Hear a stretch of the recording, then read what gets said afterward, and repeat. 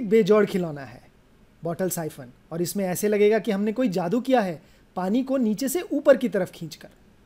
इसको बनाने के लिए चाहिए एक बोतल पुरानी कुछ स्ट्रॉज जो मुड़ सकें, कैंची, गोंद और टेप। पहले दो छेद करिए, बोतल में नीचे की तरफ़ और ऊपर की तरफ़ छोटे छोटे छेद। नीचे वाले छेद में, जो पैने में है, उसमें एक स्ट्रॉ घुसा दीजिए। स्ट्रॉ का एक छोर अंदर जब चला जाए तो स्ट्रॉ को मोड़कर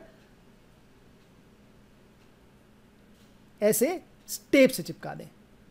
साइफन कंजर्वेशन ऑफ़ एनर्जी के सिद्धांत पर चलता है, जिससे टंकी में से पानी वैसे तो ऊपर से नीचे जाता है, पर बीच में बिना पंप के वो पानी टंकी से भी ऊपर चला जाता है।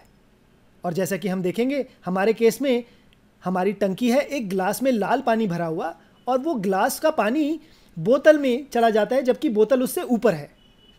अब दूसरी स्ट्रॉ लीजिए और बोतल के ढक्कन में जो छेद है, उसमें लगा दीजिए। बोतल में जो दोनों छेद हैं, उनको गोंद से बिल्कुल सील कर दीजिए।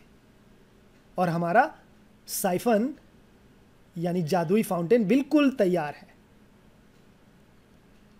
इस बोतल में थोड़ा पानी भरिए।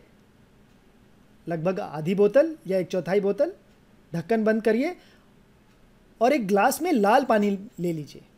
अब जैसे ही आप बोतल को उल्टा करेंगे और हरी वाली स्ट्रॉ ग्लास में डालेंगे तो आप पाएँगे कि पानी नीचे से ऊपर जा रहा है।